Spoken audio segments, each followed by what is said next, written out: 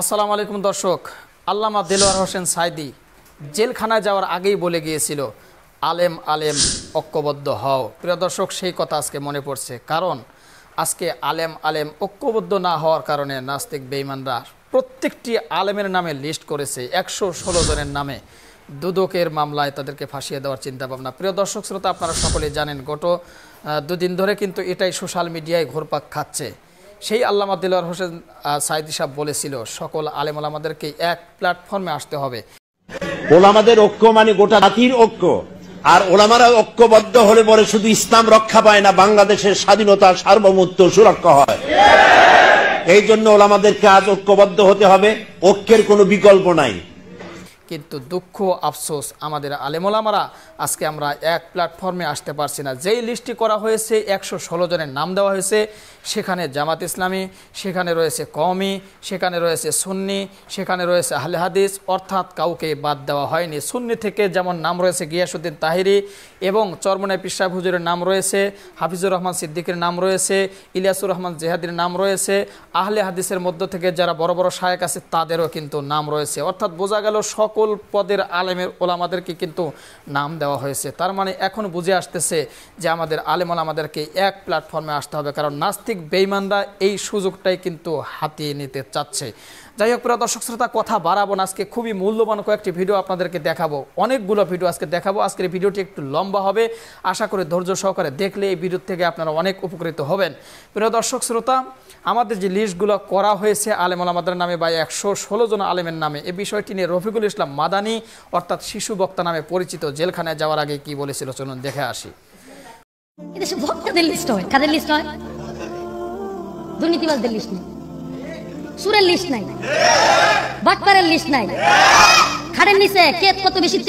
এটা কোনো লিস্ট নেই। সুর এগুলোর কোনো লিস্ট দরকার নেই। এই বলতে সমস্যা নেই। এত জোরে আওয়াজ এত বেশি করতেছেন।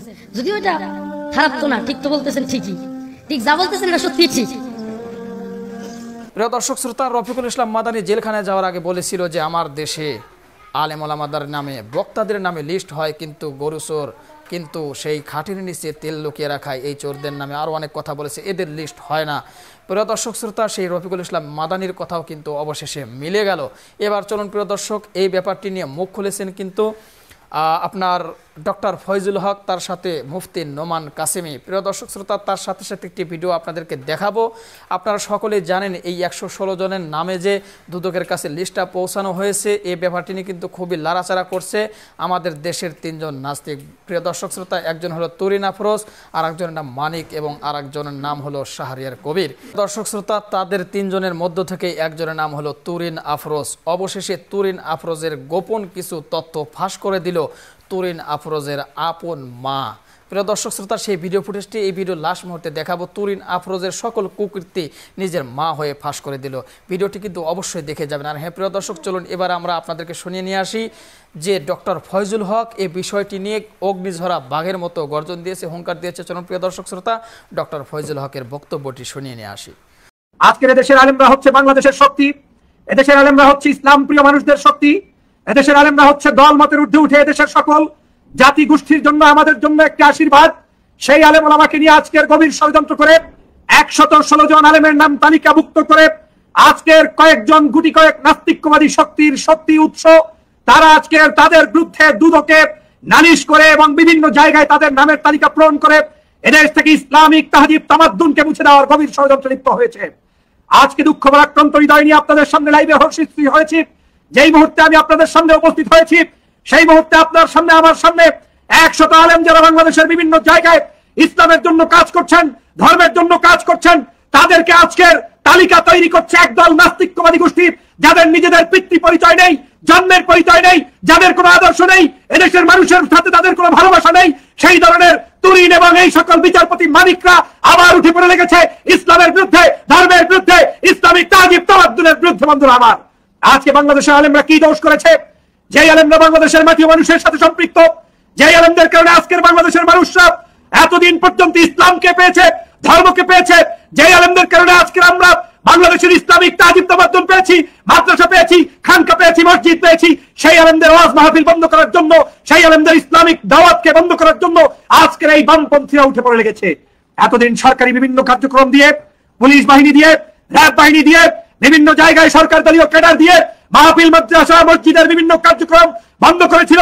আজকে আবার গভীর ষড়যন্ত্র করে, তালিকা করে করে প্রত্যেক আলেমার ব্যক্তিগত ব্যাংক অ্যাকাউন্ট সহ বিভিন্ন ধরনের আয়ের উৎসগুলো তদন্ত করে আজকের তারা আলেমদেরকে জিম্মি করে এদেশটাকে আজকের একটি করদ রাজ্যে পরিণত করতে চায়, এদেশ থেকে আজকের ইসলামকে বিতাড়িত করতে চায়।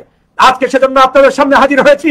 আপনাদের সামনে স্পষ্ট করে বলতে চাই যারা আজকে আপনাদের সামনে এই লিস্ট করেছে, যারা আজকে আপনাদের সামনে এই তালিকা প্রকাশ করেছে, তারা নিজেরা পর্যন্ত একজন মানব সম্পদ উন্নয়নে নিজেরা কখনো ভূমিকা পালন করতে পারেনি। বাংলাদেশের কোনো মানুষদের কাছে তাদের কোনো স্থান নেই। আজকে যেই ভদ্র মহিলা আজকের দুদকের সামনে সাংবাদিকদের সামনে- সামনে দাঁড়িয়ে কথা বলেছে, এই ভদ্র মহিলা নিজের মায়ের সম্পত্তি পর্যন্ত দিতে জানে না। এই ভদ্র মহিলা নিজে অপবিত্র অন্যায় কাজ সংসারে বসে, ঘরে বসে করার কারণে তার মা পর্যন্ত সংবাদ সম্মেলন করেছিল।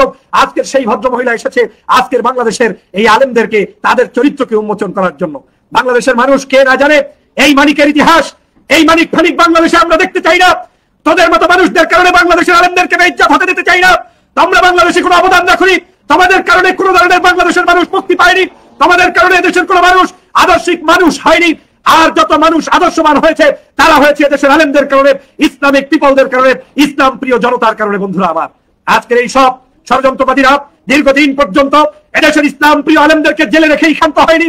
বাংলাদেশের তৌহিদি জনতার প্রাণ পুরুষ আল্লাহ সাইদিকে ষড়যন্ত্র করে প্রায় এক যুগ পর্যন্ত তারা আজকে জেলবন্দি করে রেখেছে। আজকে আবার নতুন করে এই অসভ্যতান্ত্রিক ষড়যন্ত্র শুরু করে সমস্ত আলেম আমাকে জেলবন্দি করতে চায়। ওরা আজকের বাংলাদেশের প্রতিযশা আলেম, ওরা বাংলাদেশের বিভিন্ন মতের বিভিন্ন আদর্শের আলেম, ওরা এক কথায় আলেম বলতে যাদেরকে বুঝায়, তাদেরকে আজকের এই ষড়যন্ত্রের মধ্যে আজকে ওরা নিপাতিত করেছে। অথচ এদেশে সন্ত্রাসী হচ্ছে, এদেশে টেন্ডারবাজি হচ্ছে, এদেশে ধর্ষণ হচ্ছে, আজকের এদেশে বিভিন্ন জায়গায় মায়ের সামনে সন্তানকে ধর্ষণ করছে বা পুত্রের সামনে আজকে তার স্ত্রীকে ধর্ষণ করছে, আজকে স্বামীর সামনে স্ত্রীকে ধর্ষণ করছে, সেগুলো নিয়ে ওদের কোনো মানববন্ধন নেই, ওদের সেগুলো নিয়ে কোনো বক্তব্য নেই। আজকে ওদের চুলকারি হয়েছে এদেশে হাজার হাজার কেন কমই আলেম মাদ্রাসা তৈরি হয়েছে? ওদের চুলকারি হয়েছে? এদেশের মা বোনেরা কেন? এদেশের মানুষের জন্য তারা কাজ করছে, ওদের চুলকারি হচ্ছে। এদেশের বিভিন্ন জায়গায় আমার মা বোনেরা কেন পর্দা থাকছে? ওদের চুলকারি হচ্ছে। মসজিদে, মাদ্রাসায় কেন ইসলামের দাওয়াত দেওয়া হচ্ছে? এটাই আজকের ওদের চুলকানির মূল কারণ। আজকে ওরা এই ধরনের ষড়যন্ত্র করে ধর্মকে ধ্বংস করতে চায়। ওরা এই ধরনের ষড়যন্ত্র করে ইসলামের নাম নিশাকে বন্ধ করতে চায়। ওরা এই ধরনের ষড়যন্ত্র করে আলেম বিদ্বেষী একটি রাষ্ট্র ব্যবস্থা কায়েম করতে চায়।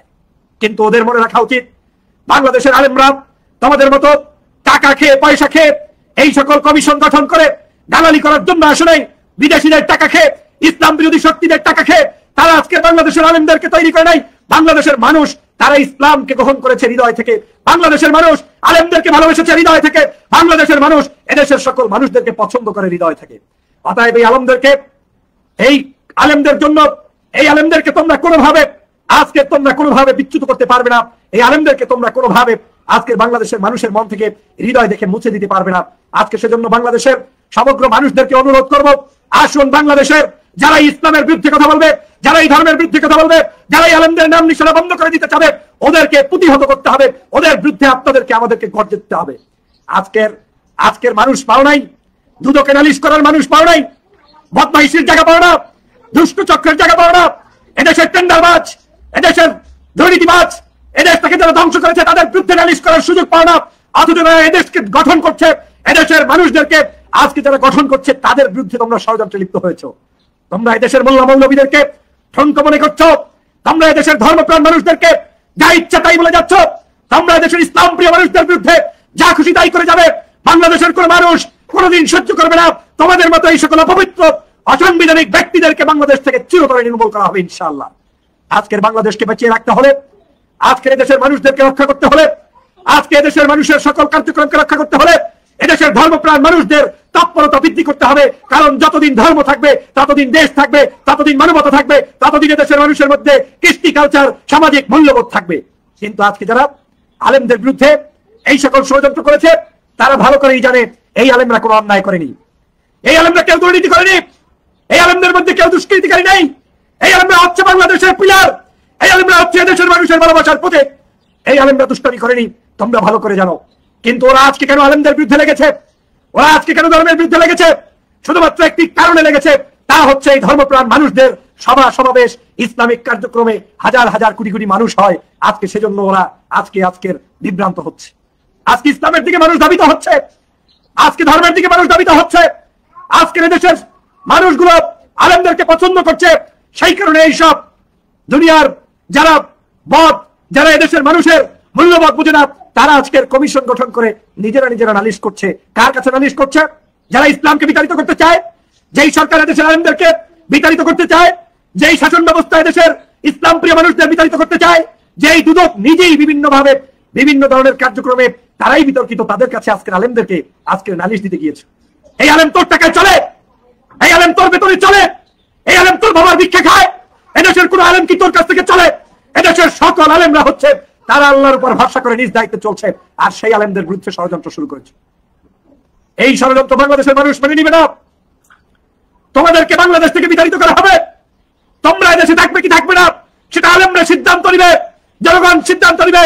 তোমাদের কার্যক্রম বাংলাদেশে চলবে কি চলবে না, সেই সিদ্ধান্ত এদেশের মানুষ নিবে। প্রিয় দর্শক শ্রোতা, ডাক্তার ফয়জুল হকের এতক্ষণ পর্যন্ত আপনারা গুরুত্বপূর্ণ বয়ানটি শুনলেন। এবার আপনাদেরকে শোনাবো। প্রিয় দর্শক শ্রোতা, এবার এই বিষয়টি নিয়ে কঠিন থেকে কঠিন অগ্নিজরা বক্তব্য দিয়েছে শায়েকে চরমনায়। প্রিয় দর্শক শ্রোতা চরণ কথা না বাড়িয়ে তার বক্তব্যের মূল অংশগুলো আপনাদেরকে শুনিয়ে নিয়ে আসি।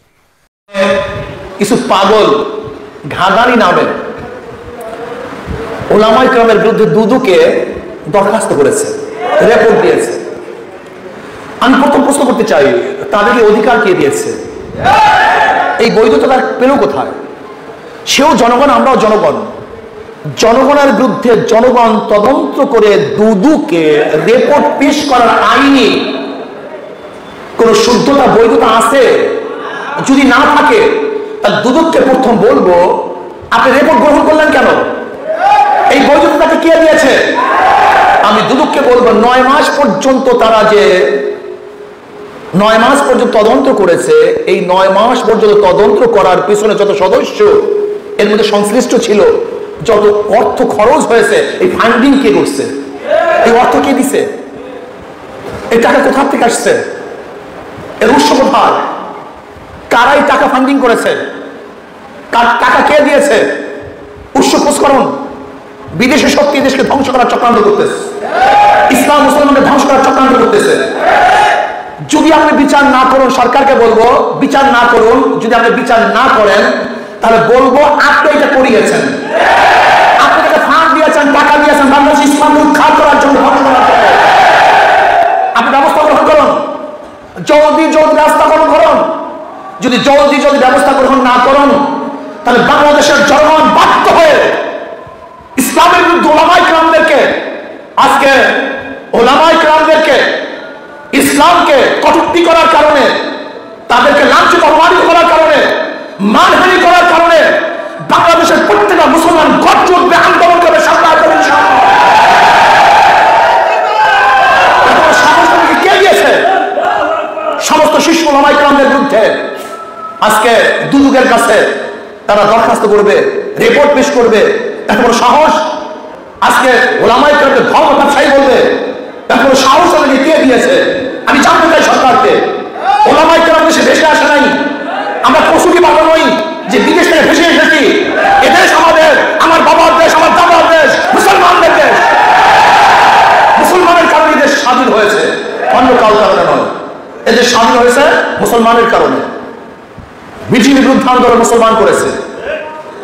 এদেশের স্বাধীনতার জন্য মুসলমান সর্বোচ্চ চেষ্টা সাধনা করেছে। কাজে দেশ মুসলমানদের দেশ, নাস্তিকদের দেশ নয়।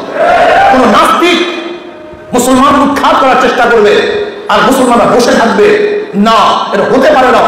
যেরকম আগুন এবং পানি একই জায়গায় থাকতে পারে না। আলো এবং অন্ধকার একই জায়গায় থাকতে পারে না। ইসলামের দুশ্মন এবং মুসলমান একই জায়গায় থাকতে পারে না।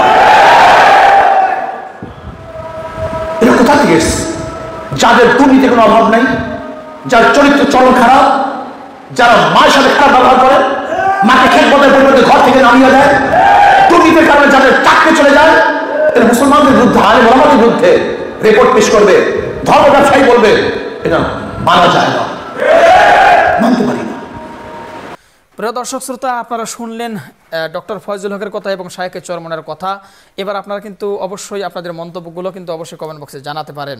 প্রিয় দর্শক এখনও যারা আমাদের ভিডিওতে লাইক দিন, একটি লাইক কিন্তু অবশ্যই দিবেন। আর হ্যাঁ প্রিয় দর্শক, আপনাদের জন্য কিন্তু এই ভিডিও লাস্ট মুহূর্তে তুরিন আফরোজের সেই কুকর্মের কথা তার মা নিজেই ফাঁস করেছে। অবশ্যই শেষ এই ভিডিও লাস্ট মুহূর্তে কিন্তু সেই ভিডিও ফুটেজটা আপনাদেরকে দেখাবো তো চলুন প্রিয় দর্শক এই ব্যাপারটি নিয়ে কি বলতেছে নোমান হাস আহ, মুফতি নোমান কাসিমি সাহেব চলুন প্রিয় দর্শক তার কথাগুলো শুনে আসি যারা ধর্মের অপব্যাখ্যা করে অন্যায়ভাবে পয়সা উপার্জন করে তারাই হচ্ছে ধর্ম ব্যবসায়ী সোজা কথায় যারা ধর্মের নাম ব্যবহার করে إن الحمد لله والصلاة والسلام على رسول الله أما بعد قال الله تبارك وتعالى ادع إلى سبيل ربك بالحكمة والموعظة الحسنة وقال رسول الله صلى الله عليه وسلم بلغوا عني ولو آية صدق الله العظيم সম্মানিত দর্শক বাংলাদেশে একটা নতুন ষড়যন্ত্রের আভাস পাওয়া যাচ্ছে জনাব শামসুদ্দিন মানিক সাহেব সহ আরো কয়েকজন মিলে ওলামাই কালামের বিরুদ্ধে একটা নতুন ষড়যন্ত্র শুরু করেছেন তারা দুই হাজার পৃষ্ঠার উপরে একটা প্রতিবেদন লিখে সেটা র্যাব এবং অন্যান্য মহলের কাছে পৌঁছান পৌঁছানোর চেষ্টা করেন এবং ওলামাই কালামকে ধর্ম ব্যবসায়ী বলে আখ্যায়িত করে নতুন করে পানি খোলা করার চেষ্টা করছেন আমি এক্ষেত্রে খুব বেশি লম্বা আলোচনা না করে আপনাদের সামনে শুধুমাত্র ধর্ম পালনকারী এবং ধর্ম ব্যবসায়ী কারা ধর্ম পালনকারী এবং কারা ধর্ম ব্যবসায়ী, এই বিষয়টাকে উপস্থাপন করার চেষ্টা করছি। ওলামাই কালাম কোনো অবস্থাতেই ধর্ম ব্যবসায়ী নন এবং ধর্মপ্রাণ মুসলমান কেউ ধর্ম ব্যবসায়ী নন। এরা ধর্ম পালনকারী। সাধারণ জনগণ, সাধারণ মুসলমানরা ধর্ম পালনকারী হন আর ওলামাই কালাম শুধু ধর্ম পালনকারী নন, বরঞ্চ তারা ধর্ম প্রচারকারীও। ধর্ম পালন করেন এবং ধর্ম প্রচার করেন। যারা আল্লাহর পথে মানুষকে আহ্বান করেন, জাহান্নামের পথ থেকে মানুষকে বারণ করে, জান্নাতের পথ দেখান, ন্যায়, ইনসাফ এবং সততা, আদর্শের প্রতি মানুষকে আহ্বান করেন, ভ্রাতৃত্বের প্রতি, সাম্যের প্রতি মানুষকে আহ্বান করেন এবং দুর্নীতি ও সন্ত্রাসের বিরুদ্ধে যারা কথা বলেন, তারাই হলেন ওলামাই কালাম সুদ, ঘুষ, জুয়া, মদ ইত্যাদি ইত্যাদি হারাম কাজ এবং গর্হিত অপকর্মের বিরুদ্ধে যারা জোরালো কণ্ঠে কথা বলেন, তারাই হলেন ওলামাই কালাম আল্লাহর পথে মানুষকে আহ্বান করেন যারা তারা ওলামাই কালাম সুতরাং রসুল করিম সাল্লাহ আলহি ওয়াসাল্লাম ওলামাই কালামকে নবুবতের জিম্মাদারি তথা দিন প্রচারের জিম্মাদারি দিয়েছেন।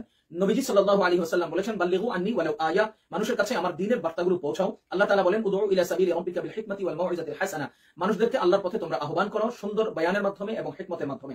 তো এইভাবে ওলামাই কেরাম মানুষকে আহ্বান করবেন, পাশাপাশি নিজেরা নিজের জীবনে ধর্মকে পালন করবেন, ধর্মের অনুসরণ করবেন এবং সাধারণ জনগণকে আল্লাহ তাআলা নির্দেশ দিয়েছেন, ইত্তাবিউ মাল্লা ইয়াসআলুকুম আজরান ওয়া হুম মুহতাদুন যারা নিজেরা ধর্মের উপরে, নিজেরা হিদায়াতের উপরে অবিচল থেকে মানুষকে আল্লাহর পথে আহ্বান করে, তাদেরকে তোমরা অনুসরণ করো। তাহলে আল্লাহ তাআলার নির্দেশনা হলো ওলামাই কেরাম এবং রাসূল সাল্লাল্লাহু আলাইহি ইসলামের নির্দেশ হলো, তার ওয়ারিশ ওলামাই কেরাম আল্লাহর পথে এবং দ্বীনের পথে মানুষকে আহ্বান করবে। সুতরাং ওলামাই কেরাম ধর্ম ব্যবসায়ী নন, ওলামাই কেরাম ধর্ম পালনকারী এবং ধর্ম প্রচারকারী।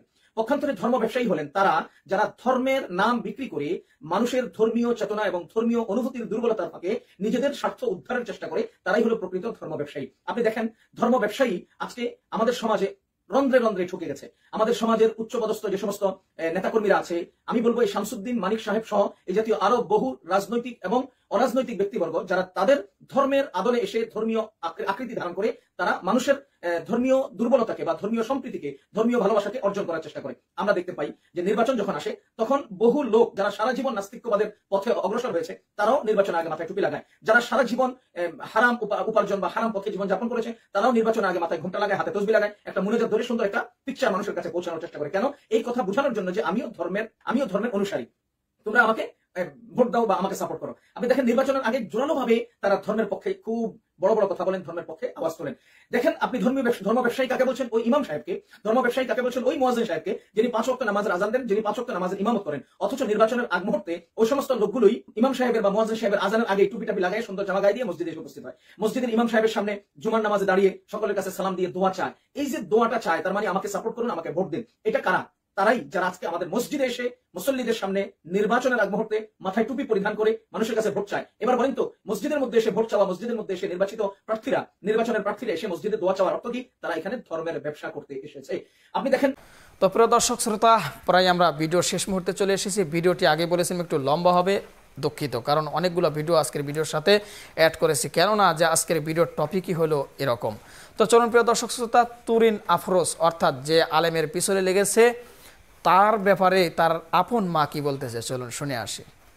এক হাজারটি মামলার উপরে আমাদের তদন্ত রয়েছে তদন্ত প্রতিবেদন এবং একশোর উপরে ধর্ম ব্যবসায়ীদের তাদের কর্মকাণ্ডের উপরে এখানটাতে তদন্তর তথ্য উপাত্ত আমরা তুলে ধরেছি।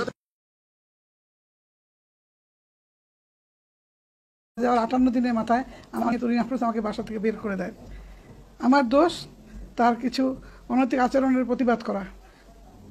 যেমন আমার ভাড়াটিয়াদের কাছ থেকে সবসময় ভাড়ার টাকা আমি নিতাম। আমার স্বামী দু হাজার চার সালে দু হাজার সালে অবসর গ্রহণ করেন। তারপর থেকে এই বাড়ি ভাড়ার টাকা দিয়ে আমার সংসার চলতো এবং সে সেই টাকাটা আমার কাছ থেকে বাসা, এবং সেই টাকা দিয়ে আমার বাসা খরচ এবং ওষুধপত্র আমাদের দুজনে চলতো। এরপরে ওর বাবা মারা যাওয়ার পর সে ভাড়াটির কাছ থেকে জোর করে সেই টাকাটা নিয়ে নেয়। অপরিচিত লোকদের ঘরে প্রবেশ নিয়ে আমার- ওর সঙ্গে আমার লাগতো কিনি আর কি? অপরিচিত লোকদের ঘরে, রাতে বিরাতে ঘরে প্রবেশ নিয়ে আমার গার্ড ও ভাড়াটিয়ারা আমাকে অভিযোগ করলে, এসব নিষেধ করলে ডিজিএফআই আর্মি, পুলিশ, র্যাবের ঊর্ধ্বতন কর্মকর্তাদের ভয় দেখাতো ও মুহূর্তে ওদের ফোন করতো আর বলতো, ওরা সবাই ওর বন্ধু।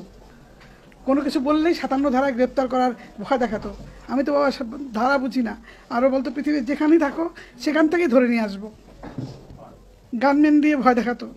গ্রামের বাড়িতে যেতে পারি না, সে দায়িত্ব নিয়ে নীলফামারি গিয়ে জমে জমা বাড়ি নিজের কক্ষগত করেছে। প্রতিবাদ করলে বড় আপু ও ছোট আপুর কথায় কথায় প্রসঙ্গ টানতো এইসব জানাবার জন্য মাননীয় প্রধানমন্ত্রীর সাক্ষাৎ পেতে আমি ব্যর্থ হই। ভেবেছিলাম উনি একজন মা, উনার ঘরে এমন হলে উনি কী করতেন? আমরা জানি উনি অন্যায় অবিচারগুলিকে প্রশ্রয় দিবেন না। আমি চাই প্রধানমন্ত্রীর হস্তক্ষেপ। আজ মিডিয়ার মাধ্যমে ওনার কাছে সহযোগিতা কামনা করছি। আমার শরীর ভীষণ খারাপ। পঁয়ষট্টি পার্সেন্ট কিডনি অকেজ। সাথে প্রেশার ও ডায়াবেটিস আছে। এসবের ওষুধ কেনার পয়সা ভাড়ার টাকা থেকে পেতাম সেটাও সে কেড়ে নিয়েছে। দেশে থাকার জায়গা নেই, এখানে সেখানে ঘুরে বেড়াই। আমি আমার দেশ ছেড়ে কেন বিদেশে পড়ে থাকব এই বয়সে? আমার জন্মস্থান, আমার আটচল্লিশ বছরের সংসার, আমি তো হচ্ছে এখানেই থাকতে চাই। আমি আমার পঞ্চাশ বছরের সংসারে ফিরে যেতে চাই, এ ব্যাপারে আমি প্রধানমন্ত্রীর হস্তক্ষেপ কামনা করছি। তো প্রিয় দর্শক শ্রোতা, তার আপন মা কি বলল আপনারা খুব ভালো করে শুনলেন। আমি আর কিছু বলতে চাচ্ছি না, যা বলার আপনারা কমেন্ট বক্স আপনাদের জন্য ওপেন করে দেওয়া হলো, যা বলার আপনারা বলে যাবেন।